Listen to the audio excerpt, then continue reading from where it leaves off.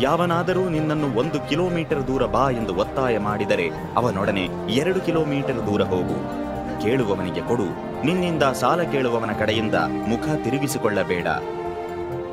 ನಿನ್ನ ನೆರೆಯವನನ್ನು ಪ್ರೀತಿಸಿ, ನಿನ್ನ ವೈರಿಯನ್ನು ದ್ವೇಷಿಸು ಎಂದು ಹೇಳಿರುವುದನ್ನು ಕೇಳಿದ್ದೀರಿ.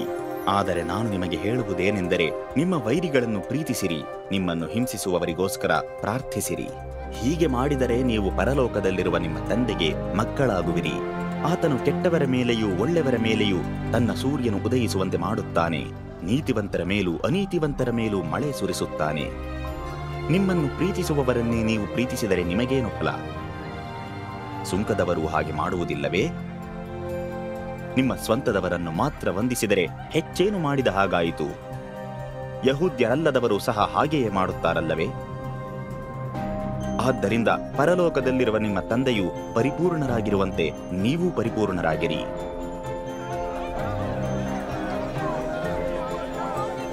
ಜನರು ನೋಡಲಿ ಎಂದು ಅವರ ಮುಂದೆ ನಿಮ್ಮ ದಾನ ಧರ್ಮಗಳನ್ನು ಮಾಡದಂತೆ ಎಚ್ಚರಿಕೆಯಿಂದಿರಿ. ಹಾಗೆ ಮಾಡಿದರೆ ಪರಲೋಕದಲ್ಲಿರುವ ನಿಮ್ಮ ತಂದೆಯಿಂದ ನಿಮಗೆ ಪ್ರತಿಫಲ ಸಿಕ್ಕುವುದಿಲ್ಲ. ಆದ್ದರಿಂದ ನೀನು ದಾನ ಧರ್ಮ ಮಾಡುವಾಗ ಜನರಿಂದ ಹೊಗಳಿಸಿಕೊಳ್ಳಬೇಕೆಂದು ಕಪಟಿಗಳ ಹಾಗೆ ಸಭಾಮಂದಿರಗಳಲ್ಲಿಯೂ ಬೀದಿಗಳಲ್ಲಿಯೂ ತುತೂರಿಯನ್ನು ಊದಿಸಬೇಡ. ಅವರು ತಮ್ಮ ಪ್ರತಿಫಲವನ್ನು ಪೂರ್ತಿಯಾಗಿ ಹೊಂದಿದ್ದಾಯಿತೆಂದು ನಿಮಗೆ ಸತ್ಯವಾಗಿ ಹೇಳುತ್ತೇನೆ. ಆದರೆ ನೀನು ದಾನ ಧರ್ಮ ಮಾಡುವಾಗ ನಿನ್ನ ಬಲಗೈ ಕೊಡುವುದು ನಿನ್ನ ಎಡಗೈಗೆ ತಿಳಿಯದಿರಲಿ. ಹೀಗೆ ನಿನ್ನ ದಾನ ಧರ್ಮವು ಗುಟ್ಟಾಗಿರುವಾಗ ಅಂತರಂಗದಲ್ಲಿ ಮಾಡುವುದನ್ನು ಕಾಣುವ ನಿನ್ನ ತಂದೆ ನಿನಗೆ ಪ್ರತಿಫಲವನ್ನು ಕೊಡುವರು. ನೀವು ಪ್ರಾರ್ಥನೆ ಮಾಡುವಾಗ ಕಪಟಿಗಳಂತೆ ಮಾಡಬೇಡಿರಿ. ಅವರು ಜನರಿಗೆ ಕಾಣುವಂತೆ ಸಭಾಮಂದಿರಗಳಲ್ಲಿಯೂ, ಬೀದಿ ಚೌಕಗಳಲ್ಲಿಯೂ ನಿಂತುಕೊಂಡು ಪ್ರಾರ್ಥನೆ ಮಾಡುವುದಕ್ಕೆ ಇಷ್ಟಪಡುತ್ತಾರೆ. ಅವರು ತಮ್ಮ ಪ್ರತಿಫಲವನ್ನು ಪೂರ್ತಿಯಾಗಿ ಹೊಂದಿದ್ದಾಯಿತೆಂದು ನಿಮಗೆ ಸತ್ಯವಾಗಿ ಹೇಳುತ್ತೇನೆ.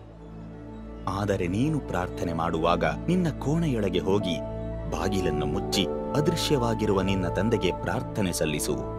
ಆಗ ರಹಸ್ಯದಲ್ಲಿ ನಡೆಯುವುದನ್ನು ಕಾಣುವ ನಿನ್ನ ತಂದೆ ನಿನಗೆ ಪ್ರತಿಫಲ ಕೊಡುವರು.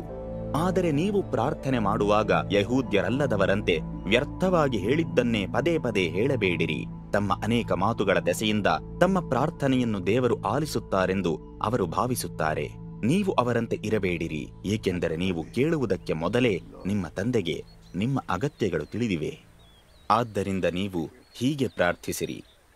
ಪರಲೋಕದಲ್ಲಿರುವ ನಮ್ಮ ತಂದೆಯೇ, ನಿಮ್ಮ ನಾಮವು ಪರಿಶುದ್ಧವೆಂದು ಎಣಿಸಲ್ಪಡಲಿ. ನಿಮ್ಮ ರಾಜ್ಯವು ಬರಲಿ. ನಿಮ್ಮ ಚಿತ್ತವು ಪರಲೋಕದಲ್ಲಿ ನೆರವೇರುವ ಪ್ರಕಾರ ಭೂಲೋಕದಲ್ಲಿಯೂ ನೆರವೇರಲಿ. ನಮ್ಮ ಅನುದಿನದ ಆಹಾರವನ್ನು ನಮಗೆ ಈ ದಿನವೂ ದಯಪಾಲಿಸು.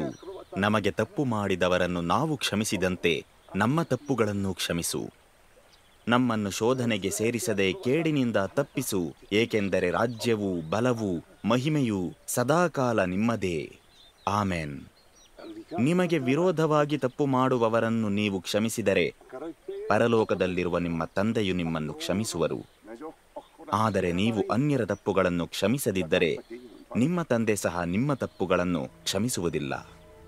ನೀವು ಉಪವಾಸ ಮಾಡುವಾಗ ಕಪಟಿಗಳಂತೆ ಮುಖ ಸಪ್ಪಗೆ ಮಾಡಿಕೊಳ್ಳಬೇಡಿರಿ. ತಾವು ಉಪವಾಸ ಮಾಡುತ್ತಿದ್ದೇವೆಂದು ಅನ್ಯರಿಗೆ ತೋರ್ಪಡಿಸಿಕೊಳ್ಳುವುದಕ್ಕಾಗಿ ಅವರು ತಮ್ಮ ಮುಖವನ್ನು ಬಾಡಿಸಿಕೊಳ್ಳುತ್ತಾರೆ. ಅವರು ತಮಗೆ ಬರತಕ್ಕ ಪ್ರತಿಫಲವನ್ನು ಪೂರ್ತಿಯಾಗಿ ಹೊಂದಿದ್ದಾಯಿತೆಂದು ನಿಮಗೆ ಸತ್ಯವಾಗಿ ಹೇಳುತ್ತೇನೆ. ಆದರೆ ನೀನು ಉಪವಾಸ ಮಾಡುವಾಗ ತಲೆಗೆ ಎಣ್ಣೆ ಹಚ್ಚಿಕೊಂಡು ಮುಖ ತೊಳೆದುಕೋ. ಹೀಗೆ ಮಾಡಿದರೆ ಕಾಣದಿರುವ ನಿನ್ನ ತಂದೆಯ ಹೊರತು ಬೇರೆ ಯಾರಿಗೂ ನೀನು ಉಪವಾಸದಿಂದಿರುವುದು ತಿಳಿಯುವುದಿಲ್ಲ. ಮತ್ತು ಗುಟ್ಟಾಗಿ ಮಾಡುವುದನ್ನು ಕಾಣುವ ನಿನ್ನ ತಂದೆ ನಿನಗೆ ಪ್ರತಿಫಲ ಕೊಡುವರು. ಭೂಲೋಕದಲ್ಲಿ ನಿಮಗೋಸ್ಕರ ಆಸ್ತಿಪಾಸ್ತಿಯನ್ನು ಕೂಡಿಸಿಡಬೇಡಿರಿ. ಇಲ್ಲಿ ಅದಕ್ಕೆ ನುಸಿ ಮತ್ತು ಕಿಲುಬು ಹಿಡಿದು ಹಾಳಾಗುವುದು. ಇಲ್ಲವೇ ಕಳ್ಳರು ಕನ್ನ ಕೊರೆದು ಕದಿಯುವರು. ಆದರೆ ಪರಲೋಕದಲ್ಲಿ ನಿಮಗಾಗಿ ನಿಕ್ಷೇಪವನ್ನು ಕೂಡಿಟ್ಟುಕೊಳ್ಳಿರಿ. ಅಲ್ಲಿ ಅದಕ್ಕೆ ನುಸಿ ಮತ್ತು ಕಿಲುಬು ಹಿಡಿದು ಹಾಳಾಗುವುದಿಲ್ಲ. ಕಳ್ಳರು ಕನ್ನ ಕೊರೆದು ಕದಿಯುವುದಿಲ್ಲ. ನಿನ್ನ ಆಸ್ತಿಯು ಇರುವಲ್ಲಿಯೇ ನಿನ್ನ ಹೃದಯವೂ ಇರುವುದಷ್ಟೇ. ಕಣ್ಣು ದೇಹಕ್ಕೆ ದೀಪವಾಗಿದೆ. ನಿನ್ನ ಕಣ್ಣು ಒಳ್ಳೆಯದಾಗಿದ್ದರೆ ನಿನ್ನ ದೇಹವೆಲ್ಲ ಬೆಳಕಾಗಿರುವುದು. ನಿನ್ನ ಕಣ್ಣು ಕೆಟ್ಟದ್ದಾಗಿದ್ದರೆ ನಿನ್ನ ದೇಹವೆಲ್ಲ ಕತ್ತಲಾಗಿರುವುದು. ನಿನ್ನಲ್ಲಿರುವ ಬೆಳಕೆ ಕತ್ತಲಾಗಿರುವುದಾದರೆ ಅದು ಎಂತಹ ಕಾರ್ಗತ್ತಲಲ್ಲವೇ?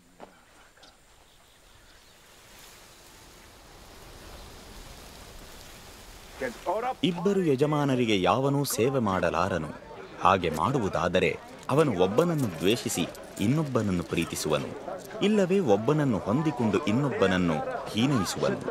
ನೀವು ದೇವರಿಗೂ ಧನಕ್ಕೂ ಸೇವೆ ಮಾಡಲಾರಿರಿ. ಆದ್ದರಿಂದ ನಿಮ್ಮ ಜೀವನಕ್ಕಾಗಿ ಏನು ಊಟ ಮಾಡಬೇಕು, ಏನು ಕುಡಿಯಬೇಕು, ಅಥವಾ ದೇಹಕ್ಕೆ ಏನು ಉಡಬೇಕು ಎಂದು ಚಿಂತಿಸಬೇಡಿರಿ ಎಂದು ನಾನು ನಿಮಗೆ ಹೇಳುತ್ತೇನೆ. ಊಟಕ್ಕಿಂತ ಜೀವವು, ಉಡುಪಿಗಿಂತ ದೇಹವು ಮೇಲಾದದ್ದಲ್ಲವೇ? ಆಕಾಶದಲ್ಲಿ ಹಾರಾಡುವ ಹಕ್ಕಿಗಳನ್ನು ನೋಡಿರಿ. ಅವು ಬಿತ್ತುವುದಿಲ್ಲ, ಕೊಯ್ಯುವುದಿಲ್ಲ, ಕಣಜಗಳಲ್ಲಿ ಕೂಡಿಡುವುದಿಲ್ಲ. ಆದರೂ ಪರಲೋಕದಲ್ಲಿರುವ ನಿಮ್ಮ ತಂದೆಯು ಅವುಗಳನ್ನು ಪೋಷಿಸುತ್ತಾರೆ. ಅವುಗಳಿಗಿಂತ ನೀವು ಎಷ್ಟೋ ಶ್ರೇಷ್ಠರಲ್ಲವೇ?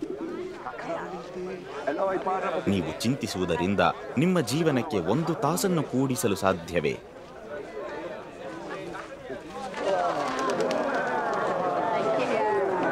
ನೀವು ಉಡುಪಿನ ವಿಷಯ ಚಿಂತಿಸುವುದೇಕೆ ಅಡವಿಯಲ್ಲಿ ಪುಷ್ಪಗಳು ಬೆಳೆಯುವುದನ್ನು ಗಮನಿಸಿರಿ. ಅವು ದುಡಿಯುವುದಿಲ್ಲ, ನೂಲುವುದಿಲ್ಲ.